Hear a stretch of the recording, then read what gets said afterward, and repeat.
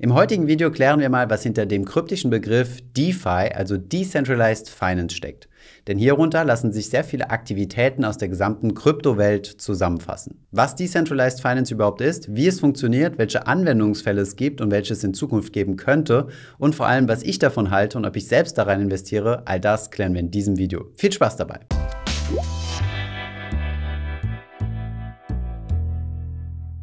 Hi, mein Name ist Thomas von Finanzus und im heutigen Video beschäftigen wir uns mal mit Decentralized Finance und allem, was damit im Zusammenhang steht. Unter Decentralized Finance packt man alle Finanzdienstleistungen, die auf einer dezentralisierten Blockchain laufen. Üblicherweise ist es ja in der normalen Finanzwelt so, dass es immer einen zentralen Dreh- und Angelpunkt gibt, wenn wir Finanzgeschäfte tätigen. So gibt es zum Beispiel eine zentrale Börse, über die Börsenhandelsgeschäfte abgewickelt werden, wie zum Beispiel Xetra, die zur deutschen Börse AG gehört. Oder wenn wir einen Kredit aufnehmen oder ein Konto öffnen, findet das auch über eine zentrale Instanz, nämlich über eine Bank statt. Dasselbe gilt im Bereich Versicherungen. Eine Versicherung schließen wir immer mit einem Versicherungsunternehmen ab, aber auch im Bereich der Derivate. Derivategeschäfte werden auch immer von sogenannten Derivate-Emittenten herausgegeben. Das ist auch wieder eine einzelne Institution, in der Regel eine Bank. Die Idee hinter DeFi, also der Abkürzung für Decentralized Finance, ist, dass solche Finanzprodukte auch dezentral abgebildet werden können. Das heißt, dass solche Produkte zustande kommen, ohne dass es eine spezifische Partei gibt, die mir dieses Finanzprodukt zur Verfügung stellt. In der DeFi-Welt soll theoretisch alles möglich sein, was auch in der normalen Finanzwelt möglich ist. So soll man zum Beispiel investieren können, einen Kredit herausgeben können, aber auch einen Kredit aufnehmen können oder Finanzderivate bauen, mit denen man zum Beispiel auf fallende Kurse setzen kann, also shorten oder mit mit denen man hebeln kann, also seine Gewinne und auch seine Verluste multiplizieren kann. Die Idee dahinter, das Ganze dezentralisiert machen zu können, basiert darauf, dass die meisten Finanzprodukte in der Regel nichts anderes als vertragliche Verhältnisse sind. Wenn wir beispielsweise einen Kredit aufnehmen, ist das nichts anderes als ein vertragliches Verhältnis mit der Bank. Wir legen in diesem Kreditvertrag beispielsweise fest, wie viel Geld wir uns leihen möchten, zu welchem Zeitpunkt dieses Geld auf unser Konto überwiesen wird, in welchen Raten wir das Ganze zurückbezahlen müssen, wie hoch die Zinsen sind, bis wann man das zurückzahlen muss, eventuelle Strafzinsen, wenn ich zu spät zahle und so weiter. Diese Art der Verträge Verträge muss man aber jetzt nicht mehr mit einer zentralen Partei abschließen, sondern kann sie in sogenannte Smart Contracts unterbringen. Hier mal ein kurzer Exkurs, was Smart Contracts sind, denn dieses Konzept ist sehr wichtig zu verstehen, wenn man in die dezentralisierte Finanzwelt eintauchen will. Ein Smart Contract ist nämlich nichts anderes als ein digitalisierter Vertrag, der dann auf eine Blockchain gepackt wird. Und anstatt die Bedingungen dieses Vertrages, wie beispielsweise bei dem Kreditvertrag, den ich eben genannt habe, diese einfach nur auf Papier zu schreiben, werden diese direkt in Code geschrieben und werden automatisch ausgeführt, wenn die Bedingungen erreicht sind. Üblicherweise sind solche Verträge ja wie folgt strukturiert. Wenn A passiert, soll daraus B folgen. Beispielsweise, wenn ich die Kreditsumme ausbezahlt bekommen habe, dann soll nach einem Monat die erste Kreditrate fällig werden. Eine solche logische Verknüpfung kann von Smart Contracts komplett automatisiert durchgeführt werden. Ich brauche also keine zentrale Partei mehr, die darauf achtet, dass dieses Vertragsverhältnis tatsächlich eingeführt wird, sondern ich kann es direkt in einen solchen Smart Contract einschreiben und es wird dann automatisch ausgeführt. Diese Regeln und Bedingungen, die ja in diesem Smart Contract zusammengeführt sind, werden dann auf der Blockchain gespeichert und sind dort für alle Teilnehmer an diesem dezentralisierten Netzwerk einsehbar. Auf die Blockchain hat dann jeder Teilnehmer aus diesem dezentralisierten Netzwerk Zugriff und kann prüfen, ob das, was dort abläuft, rechtens ist. Das verhindert, dass einzelne Teilnehmer schummeln können und beispielsweise vertragsbrüchig werden. Machen wir noch einmal ein ganz kurzes Beispiel außerhalb der Finanzwelt für einen solchen Smart Contract. Ein Beispiel wäre zum Beispiel ein Cola-Automat. Ihr steht vor einem Automaten, schmeißt dort Geld rein und drückt auf die Taste, dass ihr gerne eine frische Cola hättet. Danach gibt es jetzt drei mögliche Szenarien. Erstens, ihr habt zu wenig Geld eingeworfen, dann würdet ihr keine Cola bekommen und das Geld wird einfach wieder ausbezahlt. Zweitens, ihr habt genug Geld eingeworfen und würdet dann die Ware, also in dem Fall die Cola, bekommen.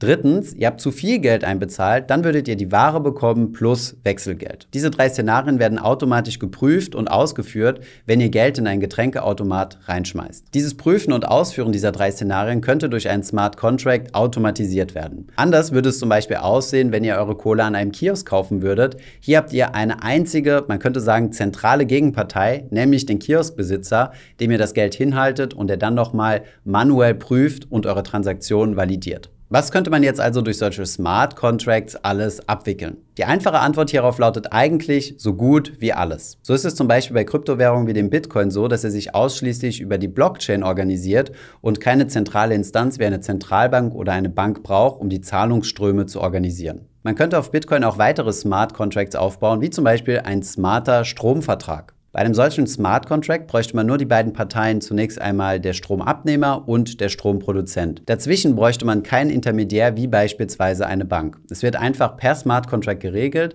dass eine Kilowattstunde XY Euro kostet oder umgerechnet XY Bitcoin und dass sobald das Licht angemacht wird und Strom verbraucht wird, dass dann konstant eine Zahlung in Form von Bitcoin vom Stromabnehmer zum Stromproduzenten fließt. Diese Zahlung muss aber nicht konstant sein, sondern kann auch beispielsweise nur stündlich passieren oder einmal pro Woche oder pro Monat, wie es heute der Fall ist. Man spart sich also eine monatliche Überweisung und auch eine Abrechnung, denn beides ist miteinander verbunden. Um die Sicherstellung der Zahlung und der Funktionsweise des Smart Contracts kümmert sich die Blockchain bzw. im größeren Sinne das Netzwerk. In der Theorie zumindest ließen sich quasi alle Geschäfte über solche Smart Contracts regeln. Carsharing ohne Carsharing-Anbieter, Essensbestellung ohne Lieferando, Kredite ohne Banken oder sogar Versicherungen ohne Versicherungsunternehmen. Unser Beispiel, dass ein solcher Vertrag über Bitcoin abgewickelt wird, ist derzeit noch nicht in der Praxis. Dafür gibt es eher spezialisierte Smart Contract Chains wie beispielsweise Ethereum. In der Theorie ließe sich das Ganze aber auch über Bitcoin abbilden. Aber schauen wir uns zunächst einmal an, welche Probleme DeFi mithilfe von Smart Contracts denn löst.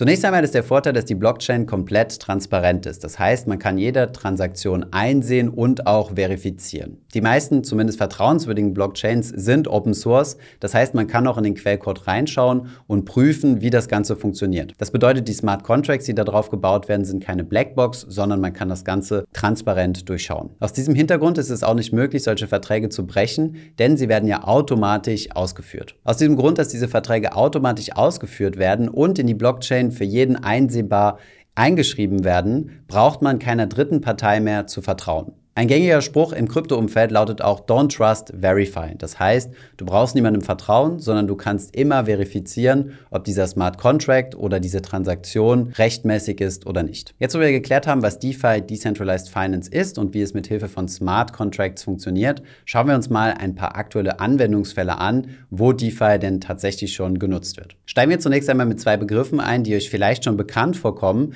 die aber fälschlicherweise häufig synonym verwendet werden. Nämlich zunächst einmal Stake Staking und dann sprechen wir über Lending. Starten wir zunächst einmal mit dem Staking. Das Staking ist ebenfalls eine Decentralized Finance Anwendung. Das Staking findet bei Kryptowährungen statt, die auf dem sogenannten Proof of Stake basieren. An dieser Stelle nochmal ein kurzer Exkurs, was Proof of Stake ist. Wenn man eine Kryptowährung oder eine Blockchain betreiben möchte, braucht man Nutzer, die Transaktionen validieren. Sie sind dafür verantwortlich zu entscheiden, welche Transaktion in die Blockchain mit aufgenommen wird und welche nicht, weil sie entweder fehlerhaft oder unvollständig ist. Beim Bitcoin findet dieser Validierungsprozess der Blockchain über das sogenannte Proof of Work Konzept statt. Was hinter Proof of Work steckt, also Nachweis von Arbeitsleistung, ist, dass man eine gewisse Arbeitsleistung erbringen muss, um sich dafür zu qualifizieren, Transaktionen bestätigen zu dürfen. Das tun beim Bitcoin die sogenannten Miner. Die Miner stellen Arbeit in Form von Rechenleistung zur Verfügung, die sie auf der anderen Seite auch wieder Geld kosten, womit sie dann beweisen, dass sie es bei dem Bitcoin-Netzwerk ernst meinen. Dadurch, dass für die Miner Kosten entstehen, nämlich in Form von Hardware- und Stromkosten,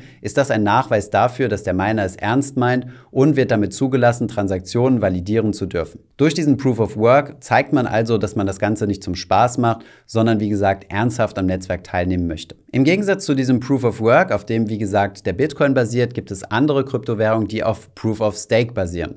Das funktioniert ähnlich, nur statt dass man Arbeitsleistung bringen muss, muss man einen Stake mitbringen. Das bedeutet, man muss Kryptowährungen besitzen und bereit sein, diese einzulagern. Wenn man eine gewisse Anzahl an Kryptowährungen eingelagert hat, hat man somit das Recht, Transaktionen für die Blockchain zu validieren. Für die Bereitschaft, Kapital zunächst einmal anzuhäufen, also zu staken und das dann temporär wegzusperren, wird man dann belohnt, indem man Transaktionsgebühren erhält. Dieses Staking wird über einen Smart Contract in der Blockchain festgehalten. Das bedeutet, man überweist jetzt hier seine Kryptowährung nicht an eine zentrale Institution, sondern das Ganze wird per Smart Contract gemacht.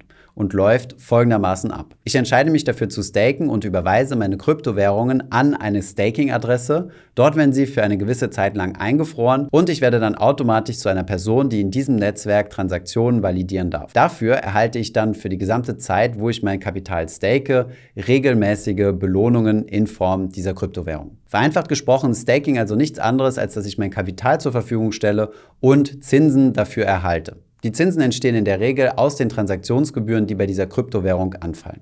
Kommen wir zum zweiten Begriff, der häufig mit dem Staking verwechselt wird, der aber im Endeffekt was ganz anderes ist, nämlich dem Lending. Lending ist etwas einfacher zu verstehen als das Staking, denn es handelt sich hierbei um ein Finanzprodukt, was wir alle schon kennen, nämlich den Kredit. Was passiert also beim Krypto-Lending? Im Endeffekt kann man sich das ähnlich vorstellen wie bei sogenannten P2P-Krediten. Ihr stellt also Geld einer Plattform zur Verfügung, dieses Geld wird dann in Form von Krediten herausgegeben und ihr bekommt dann dafür, dass ihr euer Geld verliehen habt, Zinsen. In der DeFi-Welt gibt es hier einen entscheidenden Unterschied, ihr habt es sicherlich schon festgestellt. Es gibt hier keine einzelne zentrale Plattform, wie im P2P-Bereich beispielsweise Mintos oder Bondora, sondern das Ganze findet über einen Smart Contract auf der Blockchain statt, also dezentralisiert. Die Möglichkeit, sich Kryptowährungen zu leihen oder zu verleihen, eröffnet hier nochmal ein ganz neues Tor an neuen Finanzprodukten. In der normalen Finanzwelt nennen wir diese Produkte Derivate. Was genau Derivate sind, dazu haben wir schon mal ein ausführliches Video gemacht, das findest du hier oben.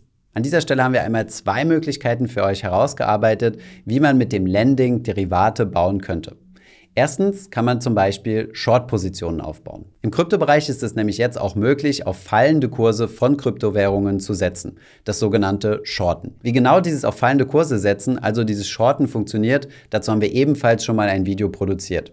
In ganz kurz, ich leihe mir zunächst einmal Kryptowährungen von jemandem, die ich dann verkaufe, dann hoffe ich, dass der Kurs fällt und kaufe diese Kryptowährung günstiger zurück, um sie dann der Person zurückzugeben, von der ich mir das Ganze geliehen habe. Wir fassen noch einmal zusammen, denn das Konzept ist nicht unbedingt trivial. Auf der einen Seite haben wir jemanden, der Krypto-Lending betreibt, das heißt, der bereit ist, seine Kryptowährung zu verleihen und der bekommt dann dafür einen Zins.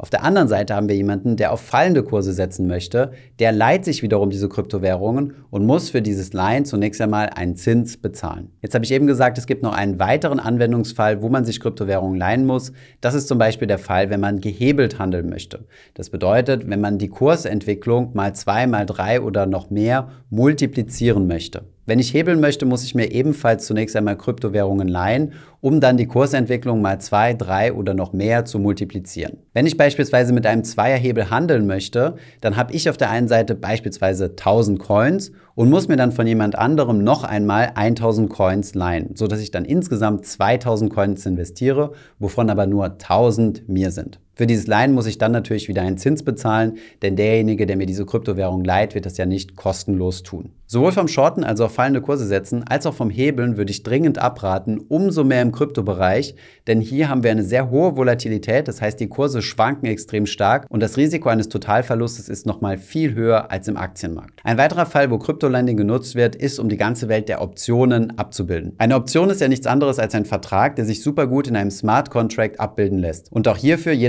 nachdem, welche Option man bauen möchte, muss man sich Kryptowährungen leihen können. Wir sehen also, dass alleine schon diese zwei Funktionalitäten von DeFi ein enormes Spektrum an neuen Finanzprodukten öffnen. Zunächst einmal ermöglicht das Staking neue Kryptowährungen zu bauen, die nicht auf Proof of Work, sondern auf Proof of Stake funktionieren. Und zweitens ermöglicht das Krypto-Lending eine gigantische Welt an neuen Finanzderivaten zu bauen und das anders als in der normalen Aktienwelt nicht mit Hilfe von einer zentralen Institution, sondern auf Basis von Smart Contracts. Schauen wir uns jetzt einmal weitere Beispiele an, wo ebenfalls Decentralized Finance eine Rolle spielt. Zunächst einmal Stablecoins. Stablecoins sind Kryptowährungen, die einen stabilen Fiat-Gegenwert haben. Das bedeutet, es gibt zum Beispiel Kryptowährungen, die das Ziel haben, immer einen US-Dollar wert zu sein.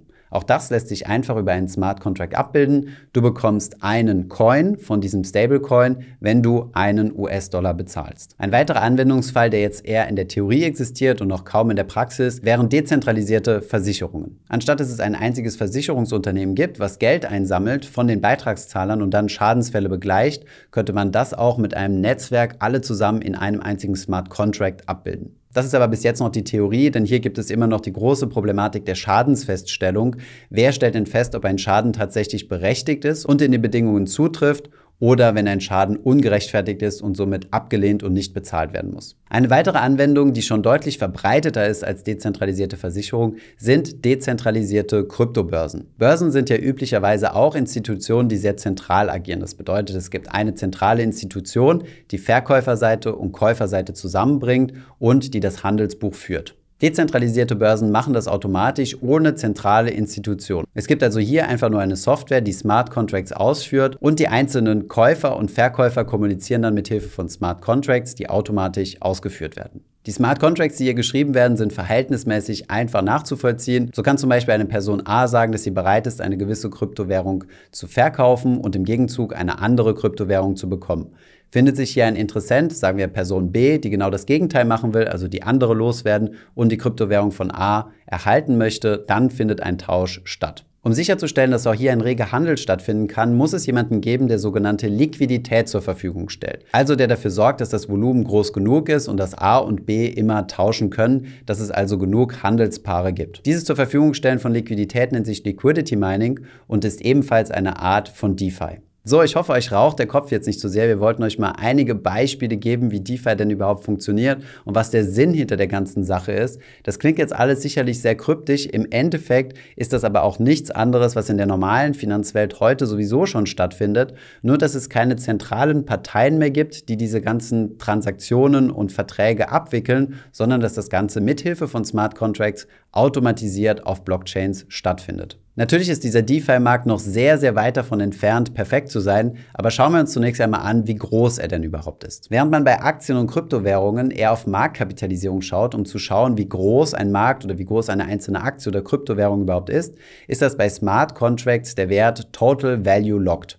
Man schaut also, wie viel Kapital insgesamt in einem Smart Contract denn drin sind. Alle DeFi Smart Contracts zusammen geben einem also eine Indikation dafür, wie viel Geld denn insgesamt in dieser DeFi-Welt drinsteckt. Vor circa einem Jahr, also am 1. Dezember 2020, lagen in solchen Smart Contracts an Total Value Locked rund 23 Milliarden US-Dollar. Heute, zu Mitte Dezember, sind es rund 100 Milliarden US-Dollar, also mehr als vervierfacht. Die zum heutigen Tag größte DeFi-Plattform ist die Plattform Maker. Das ist eine Kreditplattform. Sie macht vom gesamten Total Value Locked im DeFi-Bereich stolze 18% aus. Auf der Webseite defipulse.com könnt ihr nachschauen, welche DeFi-Plattformen wie groß sind und wie groß das dort eingeloggte Kapital ist. Diese Webseite ist übrigens ein guter Startpunkt, um mal zu schauen, wie man denn selbst von DeFi profitieren kann. Über solche Plattformen könnt ihr beispielsweise selbst Staking und Lending betreiben und sehr, sehr hohe Zinsen kassieren. Die Zinsen, die man mit solchen DeFi-Applikationen verdienen kann, sind teilweise schwindelerregend im zwei-, teilweise sogar dreistelligen Prozentbereich. Deswegen ist es unumgänglich, sich auch die Frage zu stellen,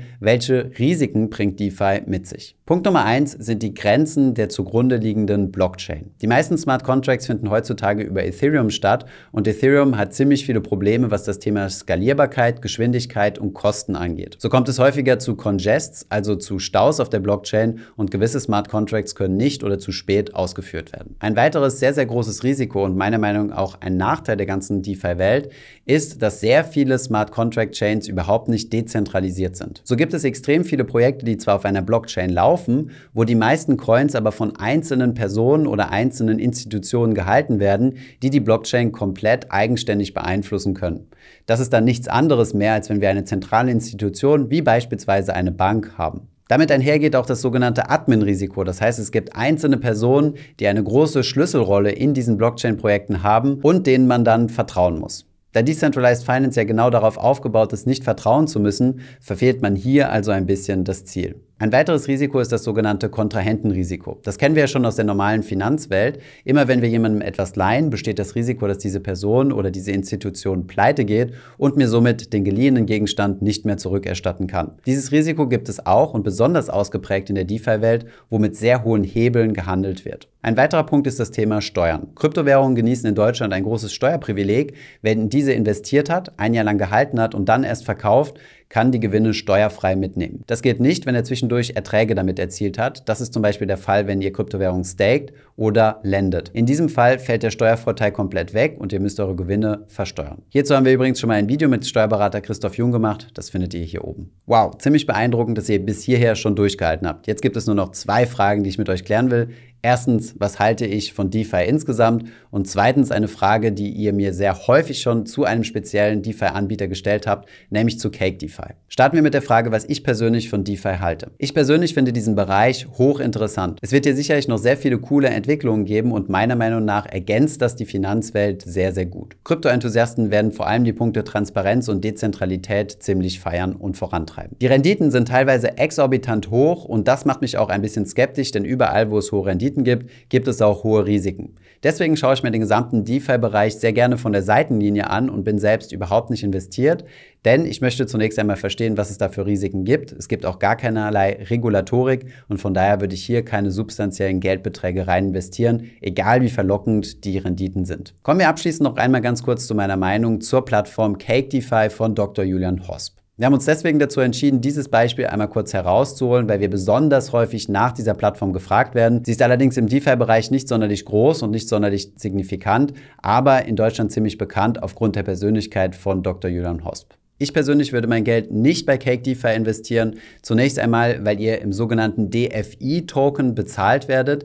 Dieser ist relativ illiquide und ihr könnt ihn nicht über sehr viele Plattformen gegen echte Kryptowährung oder echtes Fiat-Geld tauschen. Ich habe auf dem Papier zwar sehr hohe Renditen, diese hängen aber von der Wertentwicklung des DFI-Token ab. Und dieser DFI-Token hängt im Gegenzug wieder vom Erfolg der DeFi-Plattform ab. Wenn ich also hier Staking, Lending oder Liquidity Mining betreibe, investiere ich also indirekt in diese Plattform beziehungsweise glaube ich daran, dass diese Plattform zukünftig weiterhin erfolgreich sein wird. Außerdem ist die Plattform nicht wirklich dezentral im Sinne, dass die Gemeinschaft das Ganze kontrollieren kann und deswegen ist es für mich kein wirklich pures DeFi. Für wirkliches DeFi muss man meiner Meinung nach keine eigene Kryptowährung kreieren, sondern kann sich einfach an etablierten Währungen wie Bitcoin, Ethereum oder Fiat-Währungen bedienen und darin dann die Zinsen ausbezahlen. Das war auch schon soweit meine Meinung und das war auch schon soweit das Video zum Thema DeFi, Decentralized Finance. Es war ein extrem komplexes und für manche Leute vielleicht etwas trockenes Thema, aber wir wollten dazu auf jeden Fall mal ein Video produzieren, denn ich sehe hier ein großes Potenzial, dass in Zukunft deutlich mehr Finanzanwendungen auf solchen Smart Contracts aufgebaut werden.